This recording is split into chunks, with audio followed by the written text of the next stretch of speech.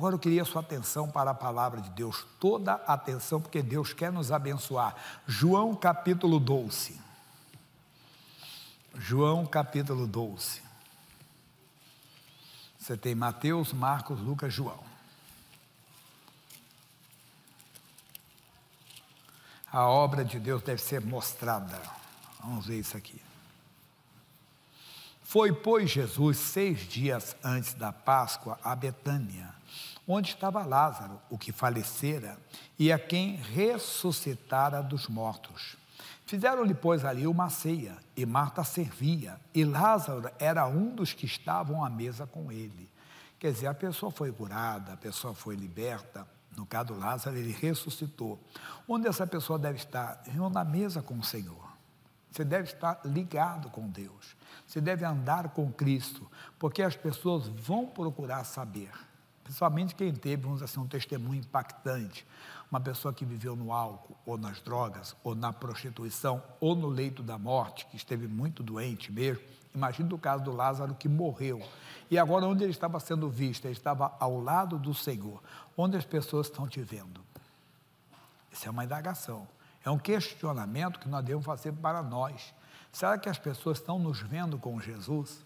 Será que as pessoas estão nos vendo realmente? Não estou querendo filosofar, colocar o meu pensamento num texto bíblico, não, mas mostrar um momento de reflexão. Será que as pessoas estão nos vendo com Jesus? E nós vamos ver isso mais na frente, que tem uma grande revelação a respeito disso. Então, toda pessoa que foi curada, liberta, que teve uma experiência com Deus, que nasceu de novo verdadeiramente, ela deve sempre estar sempre com Jesus. Onde você estiver, na mesa, entenda bem, no campo de futebol, onde você estiver. Eu já contei uma vez um testemunho.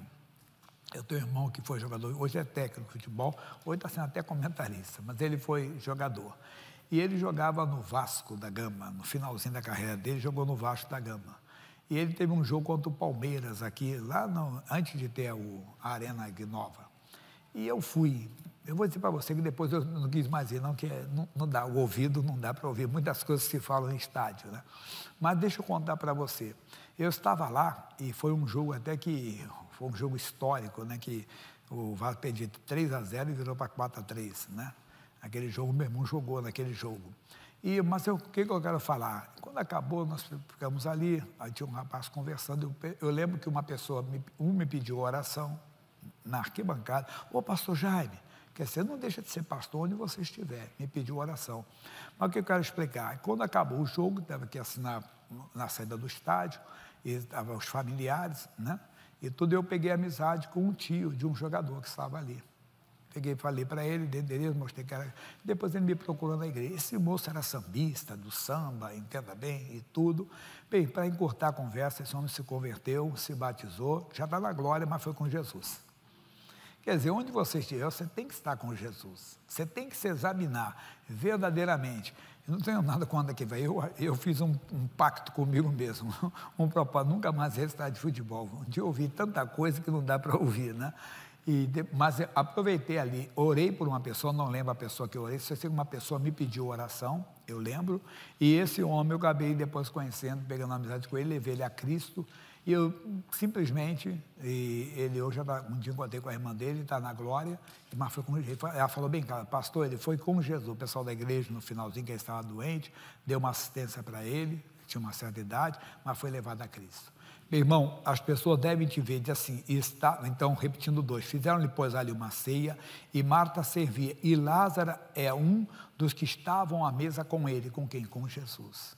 Ele estava na mesa com Jesus. Então Maria, tomando uma libra de unguento de nado puro, de muito preço, ungiu os pés de Jesus e enxugou-lhe os pés com seus cabelos.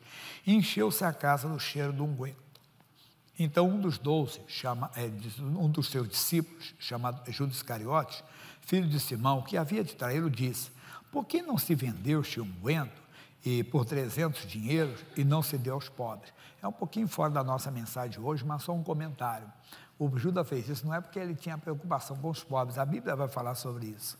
Os discípulos dos outros não sabiam. E eu acho que ninguém ali sabia, pelo contrário, todo mundo deveria de admirar o Judas. O Judas deveria ser uma pessoa até exaltada. Por quê?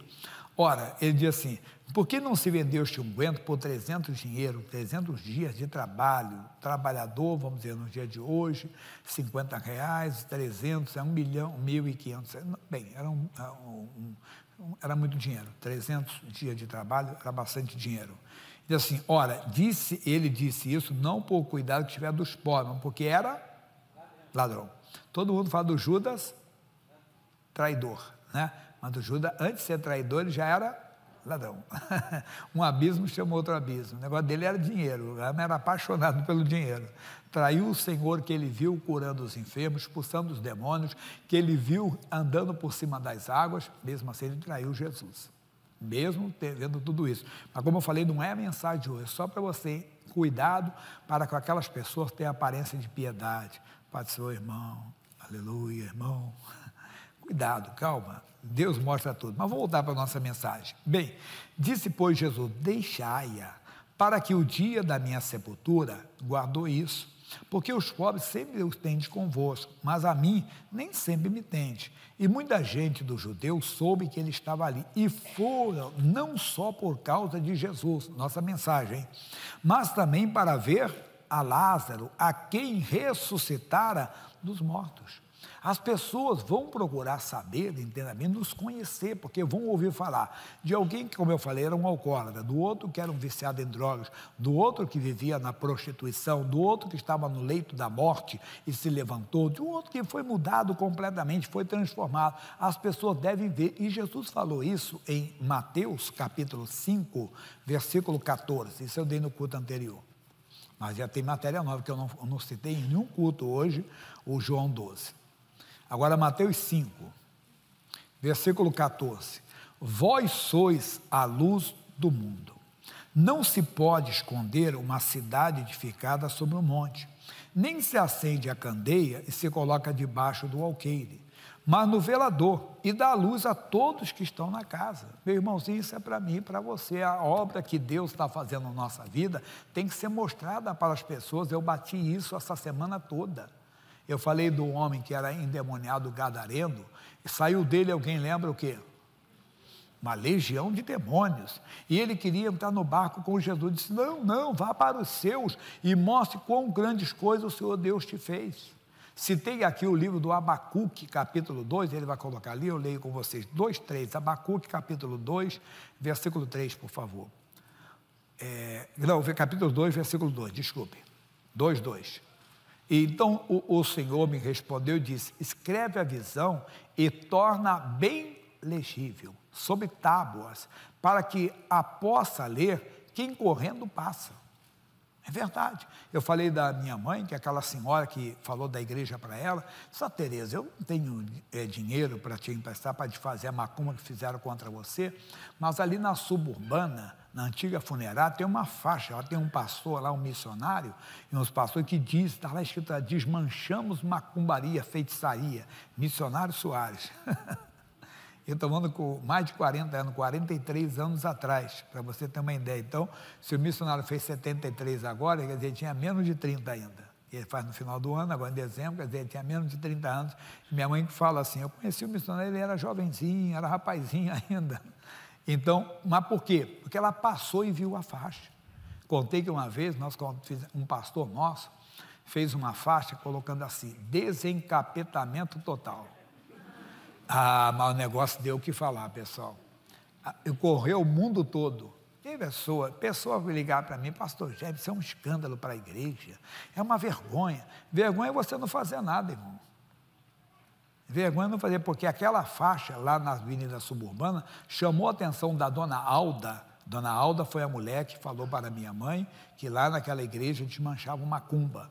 Minha mãe não era da igreja, nem a dona Alda era. A dona Alda era budista, mas ela passou e viu. Quando a minha mãe falou que tinham feito trabalho contra a família, que já tinha morrido meu pai e minha irmã, ela disse: ah, então vai lá, Tereza, não sei se é verdade que eu não sou. Depois ela acabou se convertendo também, que ela soube o que Deus tinha feito comigo, entende? E ela acabou se convertendo também a dona Alda. Mas isso aqui, o que eu estou dizendo, a obra de Deus tem que ser mostrada, irmão. Nós temos que revelar ao mundo o que Deus está fazendo entre nós. Ele diz: nem se acende a candeia, nem coloca debaixo do alqueire, mas no velador e dá a luz a todos que estão na casa. Quer dizer, dar luz a todos que estão neste mundo, vendo o que Deus fez, que é a solução, porque se Deus recuperou um alcoólatra, eu contei de um rapaz, um, rapaz, bem hoje, ele dando vivo, ele deve estar com, eu estou com 62, ele deve estar com 75 para 80, mais ou menos.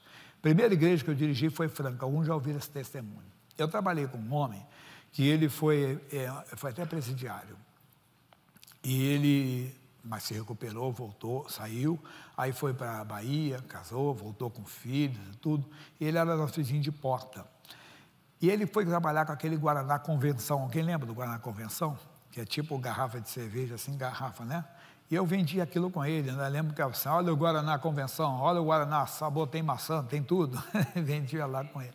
E bem, depois, eu estava numa depressão, ele foi, me colocou a trabalhar com ele para me ajudar, que tava, era uma terapia ocupacional. Eu vinha do alcoolismo, né? E eu parava, voltava, parava, voltava, parava, voltava, organismo numa depressão tremenda. A esposa dele era enfermeira, tirava a minha pressão toda hora, eu batia a vez de madrugada, oh, dona, está tá acelerado o meu coração. E elas mesmas me ajudaram bastante. Bem, o, me converti, como eu falei, fui para Franca, ser pastor em Franca. Quando eu estava em Franca um dia, era, era na Major se alguém conhece Franca aqui, ela pega na rodoviária, atravessa o, onde tem o canal e vai lá do outro lado, assim, no Jardim Aeroporto. Aí eu estava lá em Franca, eu, eu ia na, numa casa, o pessoal da família do pastor Ayrton me arrumou um quarto, eu ficava lá. Eu cheguei, deixei a igreja à tarde e fui lá para me arrumar para o culto da noite. Quando eu voltei, já à noitinha, de longe eu vi a luz acesa da igreja, pensando comigo, só eu que tinha a chave. Eu disse, acho que eu deixei a porta aberta e deve ter roubado até a igreja. Quando eu coloquei a mão na porta, a porta estava aberta realmente, abri a porta. Quando eu abri a porta, vem lá, ele tinha um defeito físico, esse moço mancava um pouco da perna, se puxar, veio ele. Disse, rapaz, o que você está fazendo aqui? Como é que você entrou aqui? Ele disse, rapaz. Aí ele me contou o drama dele. Ele teve um problema familiar, entrou numa depressão tremenda e pensava em se matar. Mas quando ele lembrou, disse: peraí, o que Deus fez com o Jaime, né? Ele falou lá pelo apelido. É, se fez com ele, vai fazer comigo. Não. Ele foi em Madureira, onde ele sabia que era a igreja, lá no estado do Portela. Ele disse: não, ele não está mais ele, é pastor nosso lá em Franca. Ele pegou o endereço, saiu do Rio de Janeiro, foi a Franca me pedir ajuda. Quando ele chegou em Franca, a porta tava, a igreja estava fechada. O que, que ele pensou? É, não adianta, nem Deus está me querendo mesmo, né? Eu estou aqui, vim desse lugar todo, não tenho telefone naquela época, não tinha celular como hoje, 84 isso. E ele disse que encostou assim na porta, e quando ele encostou, ele bateu assim e disse: essa porta está aberta. Não é que eu esqueci a porta aberta? Eu esqueci? Deus fez ele esquecer, né? Deus abriu para ele então ali. Só no dia do Chico não sabe, porque ele querendo se matar, ele estava com depressão, quer se matar. Aí ele foi, pronto, ele ficou um dia lá comigo, depois voltou já com outra cabeça completamente mudado, né? Mas tudo isso eu estou falando por quê? Porque a obra tem que ser vista, meu irmão. Nós temos que brilhar, quer dizer, ele soube o que se Deus fez com Jaime, vai fazer comigo também. Ele foi lá em Franca me procurar. Meu irmão, Jesus está dizendo assim: Versículo 16: Assim resplandeça a vossa luz diante dos homens, para que vejam as vossas boas obras e glorifiquem o vosso Pai que está nos céus. Mesmo que você esteja enfrentando um momento difícil, vou falar na segunda parte isso, não esmoreça, irmão, não abaixe a cabeça. Isaías capítulo 60. Não fique jururu, conhece o termo jururu? é desanimado, abatido. Não, não, não, levanta, pastor já, mas está demorando. Vai chegar a sua bênção, calma. Tem hora que dá vontade de desistir. Eu, todo mundo passa por esse momento, todo mundo passa um momento difícil, mas diz: levanta-te. Quer dizer, não desanima, não. Não abaixa a cabeça, não fica jururu, não. Mas está demorando, calma, resplandece, porque já vem a tua luz, está chegando. Deus trouxe você aqui para ouvir essa palavra hoje. Você que aparentemente está sendo derrotado, está sendo vencido. Alguns estão até te cobrando: cadê o teu Deus? Já passou por isso? Cadê o teu Deus? Cadê o Deus que você serve? Que o Deus você serve? Não, você está passando por uma luta, porque já vem a tua luz e a glória do Senhor vai nascendo sobre ti. Pois eis que as trevas cobriram a terra, a escuridão os pó, mas sobre ti o Senhor virá surgindo e a sua glória se verá sobre ti basta para nós. Acorda, desperta. Se a luta está grande, a vitória vai ser maior. Amém?